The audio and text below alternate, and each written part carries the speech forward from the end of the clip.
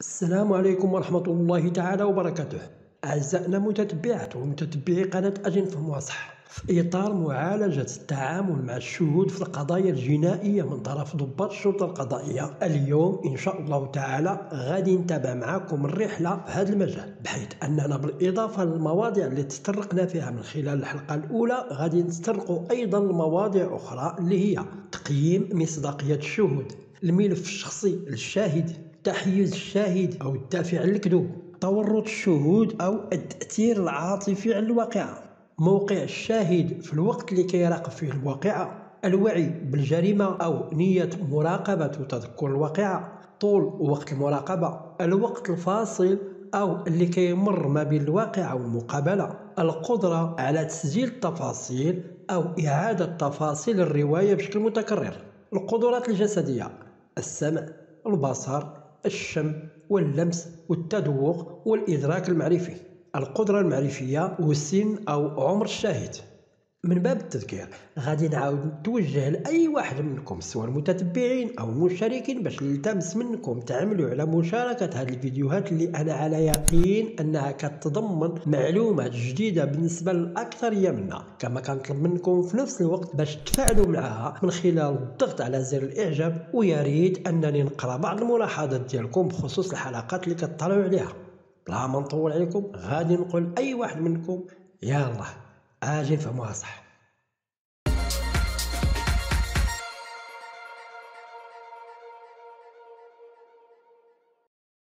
تقييم مصداقية الشهود بالإضافة لتحديد ما إذا كان الشخص شاهد عيان أو شاهد إثبات أو شاهد مستقل أو شاهد مختص أو شاهد مقنع. كيتوجب باش يخضع كل واحد منهم خلال التحقيق التحليل والتقييم المصداقية ديالو. فبما أنه كيتم جمع المعلومات والأدلة من عند كل شاهد كتبقى عملية تحديد مستوى الثقة اللي كيمكن تنسب لكل شاهد جزء من مهمة المحقق. وهذا هو اللي كنسميه تقييم مصداقية الشهود. من أهم القضايا اللي كيتوجب أخذها بعين الاعتبار عن تقييم الشاهد هي تحديد ما إذا كان المعني بالفعل شاهد أو أنه مشتبه به اللي ربما كيتظاهر بأنه شاهد. على الأرجح. في الوقت اللي كيجريو بعض المحققين مقابلات مع أشخاص اللي كيصرحوا بوقوع جرائم وهمية هاد المحققين كيلقاو نفوسهم كيجريو مقابلات مع مجموعة متنوعة من أشخاص عاديين اللي ارتكبوا بالفعل جريمة أو حضروا خلال ارتكاب جريمة أو شاهدوا جزء من جريمة وقعت. لهذا كيعتمد مستوى الثقة اللي يمكن يتمتع بها الشاهد عند المحقق على مجموعة من عوامل اللي كتعلق بهوية الشاهد وقدرات الشاهد. وظروف الواقعه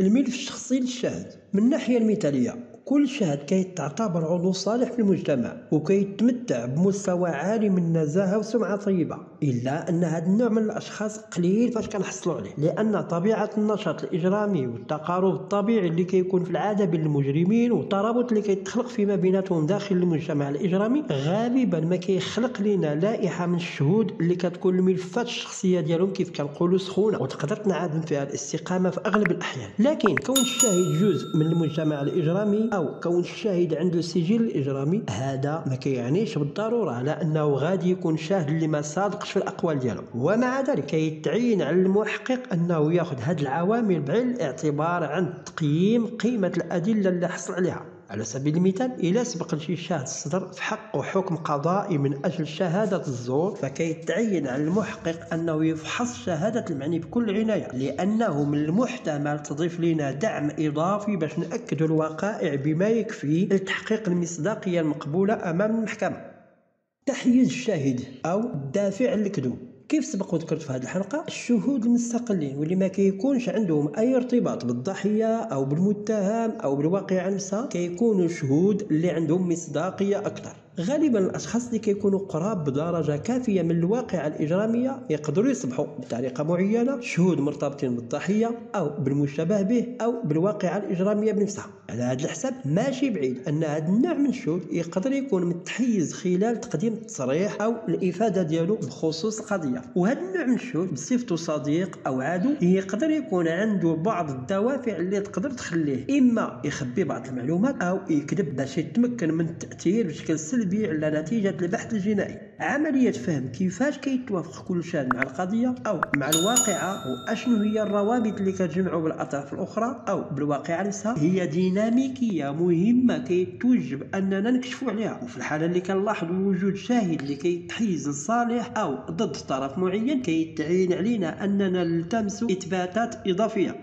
تورط الشهود أو التأثير العاطفي على الواقعة. يمكن تكون الوقائع الإجرامية عبارة على تجارب اللي هي مرهقة بشكل كبير واللي تسببت في رعب وقلق وهذا ما كينطبقش فقط على الضحية فحسب وإنما كينطبق أيضا على كل شخص تعرض لخطر أو عنف أو الحالات اللي عرفت أو وقعت فيها تهديدات للسلامة الشخصية أو حوادث الإصابة أو الوفاة. فإحنا كبشر ما مأهلينش باش أننا نعيشوا في بحال هذه البيئة بدون ما تكون عندنا استجابة عاطفية معينة. اضطراب ما بعد الصدمة كيوقع الأغلبية فينا مباشرة من بعد الضرر العاطفي اللي يمكن تسببه الأحداث أو الوقائع الصادمة. بالنسبة للمحقق الجنائي كيتعين عليه ياخذ بعين الاعتبار طبيعة القضية اللي كيبحث فيها ويكشف أيضا على هذه الديناميات. فالصدمات اللي كتجي من وراء هذه الوقائع بحال مشاهدة الموت العنيف لشخص كان كيتعتبر على سبيل المثال من الأحباب. تقدر تمنع في بعض الأحيان الشاهد من أنه يقدم رواية صحيحة وموثوقة بخصوص التفاصيل كما أن بعض الشهود يقدروا يحتاجوا المزيد من الوقت بين ما يتعافوا باش يدلوا بالأقوال ديالهم أو يقدموا الأدلة اللي يقدروا يكونوا كيتوفروا عليها. وفي بعض الأحيان يقدر يكون التأثير كارثي أكبر من اللازم لدرجة أن الشاهد ما كيكونش قادر على أنه يتذكر جميع التفاصيل أو المعلومات. ومعرفة كيفاش ارتبط الشاهد بالواقعة والقدرة على فهم الصدمة العاطفية اللي من المحتمل أنه تعرض لها تقدر تعطي للمحقق رؤية واضحة بخصوص الاستراتيجيات اللي كيتعين عليه يسلكها خلال التحقيقات اللي لازم عليه يقوم بها. مثلا تقنيات الاستجواب الناعم يعني اختيار الوقت أو المرحلة الزمنية اللي كتسمح ليه أنه يتواصل مع الشاهد بدون ما يخلق عنده أي مضاعفات سلبية.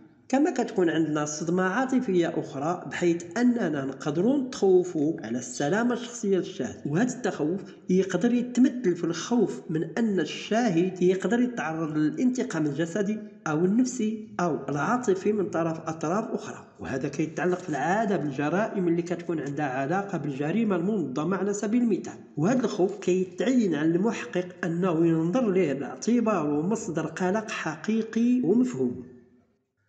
موقع أو وضعية الشاهد في الوقت اللي كان كيراقب فيه الواقعة.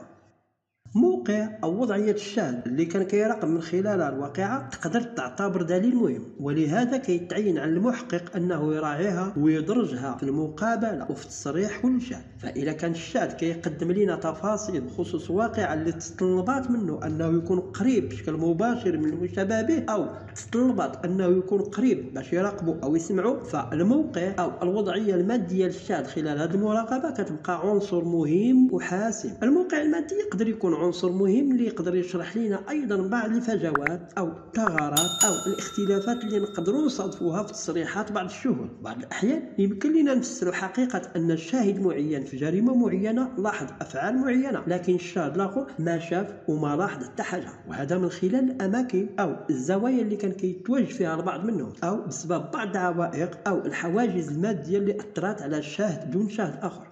في غالب الأحيان الصور ورسومات مسرح الجريمة اللي من الأكيد سجلهم المحقق خلال المرحلة الأولية. كتساعد الشهود على إظهار وشرح وجهات نظرهم اللي كتكون متميزة أو مختلفة. زيادة على هذا كيكون من المستحسن أنه يقوم بزيارة ميدانية لمسرح الجريمة باش يتأكد بشكل يقيني من تصريح كل شاهد الوعي بالجريمة أو نية مراقبة وتذكر الواقعة.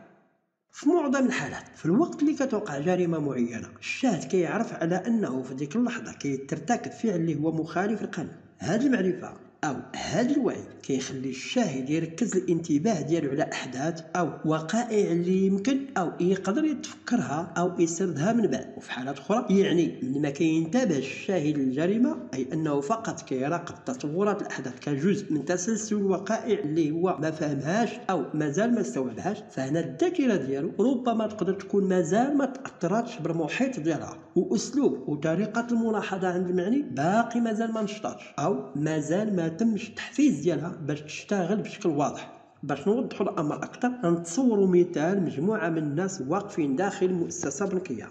غادي نتصوروا جميع واحد السيناريو اللي ربما الأكثرية منا شافوا فقط في بعض الأفلام. في المقدمة ديال الطابور أو الصف كيسلم واحد الشاب ورقة لموظف المؤسسة البنكية مكتوب عليها. هذه سرقة عندي مسدس غادي تجمع كاع الفلوس اللي عندك وتسلمها ليا. ما تقومش بأي إشارة تنبيه وإلا غادي نطلق عليك النهر الموظف هنا بطبيعة الحال هو الشخص الوحيد اللي في العلم ديالو على أن جريمة بصدد الارتكاب ديالها في هذه اللحظة.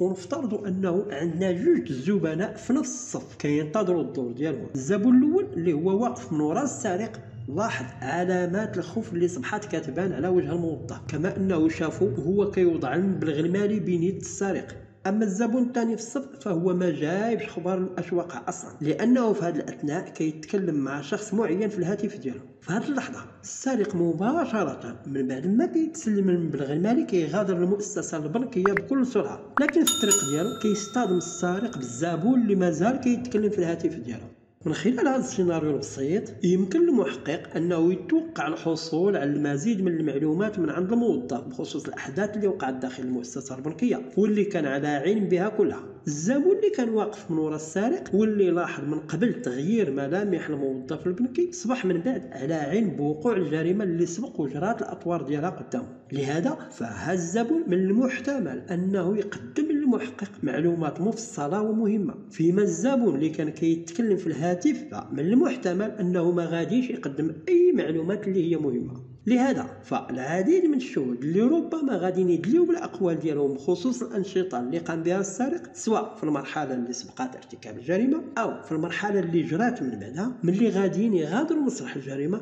غادي يندرجوا في الفئة ديال الناس اللي ما جابوش خبر أصلا.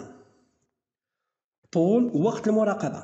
بكل بساطة طول وقت المراقبة هو مقدار الوقت أو المدة اللي استغرقها الشاهد في مشاهدة وقائع الجريمة وهي كتجرى قدامه هذا المقدار أو المدة غادي تختلف حسب الظروف. فمثلا عندنا شاهد كان واقف بشكل ثابت في مسرح الجريمة كيراقب وقائع الحدث وعندنا شاهد آخر كان دايز بسرعة 100 كم في الساعة في نفس الوقت اللي كانت كترتكب فيه الجريمة. فبكل تأكيد غادي تكون فرصة مراقبة كل شاهد للوقائع مختلفة على الشاهد الآخر. وهذا غادي يخلق لنا مشكلة. اعتمادا على درجة وعي كل شاهد بالواقعة اللي جرت قدامه.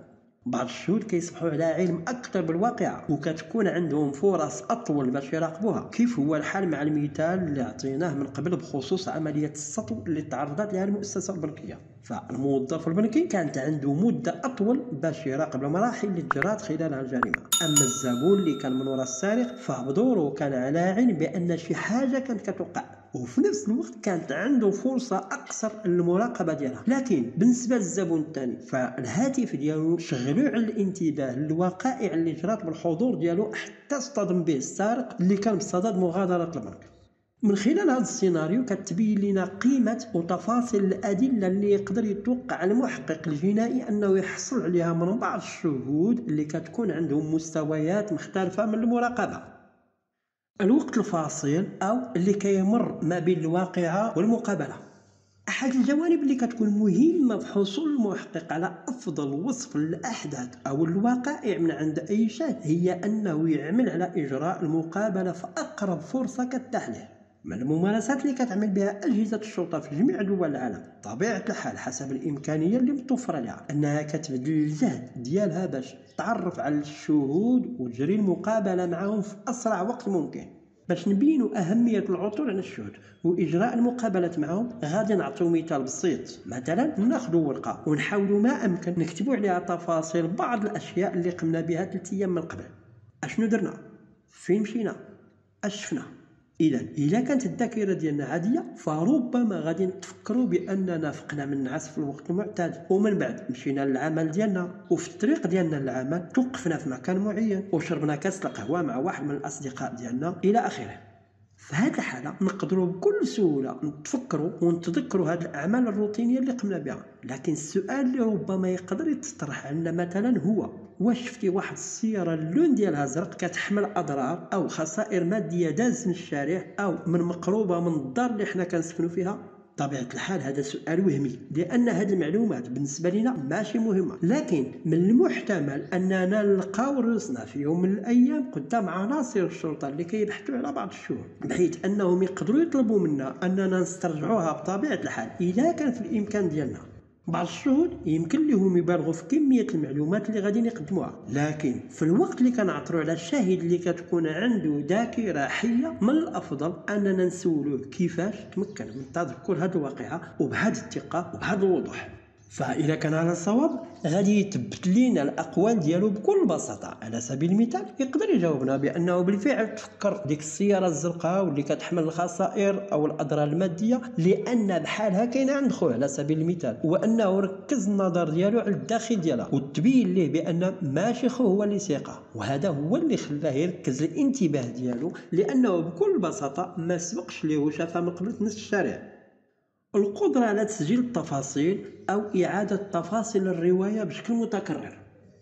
إلى عرف الشاهد بأنه حضر وقائع جريمة. وكان كيبذل جهد كبير باش يسجل الوقائع ويحفظها بطريقة معينة. فهذه النقطة في حد ذاتها غادي تكون مهمة وغادي تدفع بالمحكمة على أنها تأخذ بها كدليل في الشهادة ديالو على سبيل المثال الشاهد كيتذكر رقم تسجيل لوحة السيارة اللي كان كيسوقها المشابه به. كما أنه كرر هذا الرقم مرات متعددة بدون ما يكون مكتوب قدامه. هذا التفصيل كيبقى مهم التسجيل ديالو كملاحظة من المحقق وكيتعين على المحقق أنه يخلي الشاهد يكتب بخط يديه رقم لوحة تسجيل السيارة بالنسبة للمثال ديالنا ثم كيتعين عليه يقوم بحجز هذه الورقة لأنها غادي تكون عبارة على دليل اللي من المحتمل تعتمد عليه المحكمة. القدرات الجسدية السمع البصر الشم اللمس التذوق والإدراك المعرفي. بالنسبة للشاهد يمكن ليه يستخدم الحواس الجسدية الخاصة به باش يتذكر الأحداث اللي كيوصفها.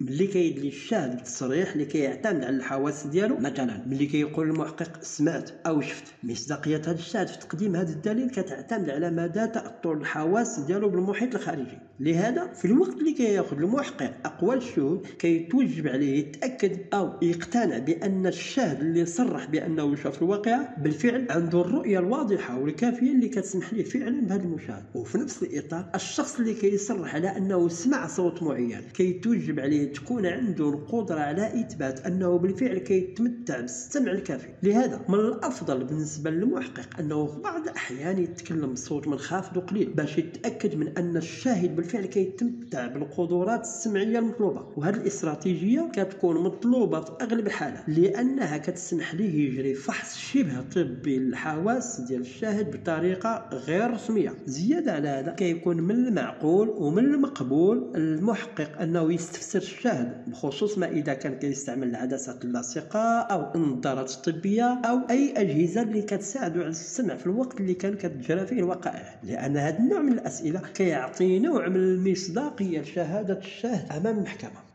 الشهود ومن خلال اعتمادهم فقط على الحواس الشخصية ديالهم غالبا كيقدموا معلومات وتصورات معرفية للوقائع اللي حضروا لها. وهذه التصورات اللي زودوا المحقق الجنائي بها كيتعين يتم النظر لها باعتبارها تفسير شخصي للمعلومات اللي حصلوا عليها من خلال الحواس ديالهم. بهذا الشكل يمكن لنا نعتبرها على انها تحليل شخصي للمعلومات أو الظروف اللي شعروا أو أحسوا بها خلال الواقعة. من الممكن للشاهد أنه يزود المحقق بخصوص عمر المشتبه به والحجم ديال أي حاجة شافها في مسرح الجريمة والسرعة اللي كانت كتمشى عليها السيارة ورائحة الكحول اللي كانت كتصدر من الفم ديال المشتبه به وكذلك حتى المسافة اللي كانت بينه وبين المكان اللي وقعت فيه الجريمة أو الواقعة اللي شافها. من خلال هذه المعلومات تقدر المحكمة تتعرف على بعض التفاصيل الدقيقة لكن مع ذلك يقدر يتم الطعن في هذه الملاحظات اللي دلاو بها بعض الشهود. لهذا من الأفضل أننا نقدروا نتصوروا مسبقا على أن البعض منها يقدر يكون على درجة من الخطأ.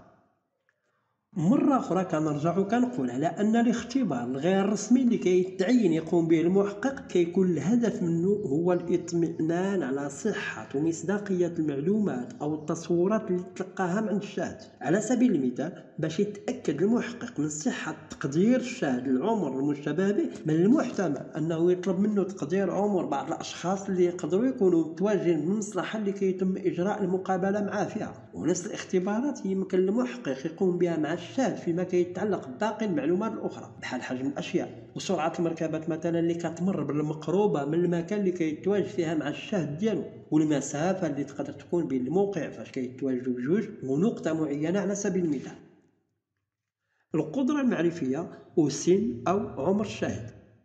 بعض الأحيان كيتعين على المحقق أنه يتعامل مع بعض الأطفال أو مع بعض الأشخاص اللي كيعانوا من إعاقة جسدية أو عقلية معينة وباش يحدد المحقق الجنائي كفاءة وقدرة هذا النوع من الشهود أو من الأشخاص اللي عندهم قدرات عقلية محدودة كيتعين عليه يجري تقييم دقيق باش يتأكد من مصداقية الشاهد اللي كيتم الاستماع له. وبهكا غادي يواجه أي تحدي من بعد واللي يقدر يطعن في الكفاءة ديال الشاهد وباش ينجح المحقق في المهمة ديالو كيتوجب عليه عليه يقوم بربط الاتصال بالوالدين ديال الشاهد أو بالمربيين ديالو. وبكل شخص كيتعامل معاه بشكل شبه يومي ويستفسرهم على القدرة العقلية له وطريقة التجاوب ديالو مع كل الأسئلة اللي كتطرح عليه. لأن عملية أخذ أقوال بحال هذا النوع من الشهود وبالخصوص الأشخاص اللي كتكون عندهم قدرات عقلية منخفضة كتطلب وقت طويل.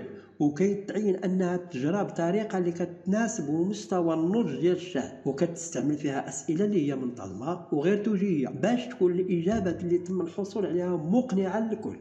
إذا اقتضى الحال وحسب الظروف يمكن للمحقق أنه يستعلم محقق آخر اللي هو مختص في التعامل مع بحال هذا النوع من الأشخاص. من بعد هذا الشيء كامل بالدرجة الأولى كيتعين على المحقق اللي حضر هو الأول لمكان الواقعة يكون فاهم الاعتبارات الخاصة اللي كتنطبق على هذا النوع من الشهود في الوقت اللي كيسمع الأقوال ديالهم. لأن الهدف العام بحال هذه الحالات هو تحديد مقدار المصداقية اللي تقدر تكون عند هذه الأدلة اللي كيقدموها هذا النوع من الشهود. المحقق يقدر يقرر على أن اقوال الشاهد موثوقه كما أنه يقدر يستخدمها بناء أو في وضع أسس معقولة أو العكس. يقدر يوجد صعوبه في اثبات مصداقية الشاهد وهذا يقدر يمنعه من استخدام هذه الأدلة في تطوير الأسباب المعقولة اللي تخليه ياخذ إجراءات معينة من بعد.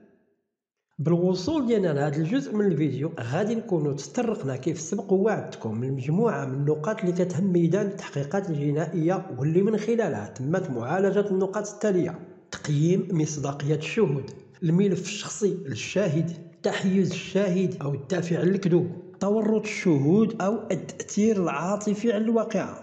موقع الشاهد في الوقت اللي كيراقب فيه الواقعة. الوعي بالجريمة أو نية مراقبة وتذكر الواقعة. طول وقت المراقبة. الوقت الفاصل أو اللي كيمر ما بين الواقع والمقابلة. القدرة على تسجيل التفاصيل أو إعادة تفاصيل الرواية بشكل متكرر. القدرات الجسدية السمع البصر الشم واللمس والتذوق والإدراك المعرفي. القدرة المعرفية والسن أو عمر الشاهد. كما أنني كنوعدكم بأن الحلقة الماجية غادي تكون أهم. لهذا في انتظار التعليقات ديالكم أعزائنا متتبعات ومتتبعي قناة أجي نفهموها صح. وفي انتظار مشاركتكم للفيديو وباقي الفيديوهات اللي سبق لكم واطلعتوا عليها. غادي نقول لأي واحد منكم واش فهمتيها صح؟ سلام.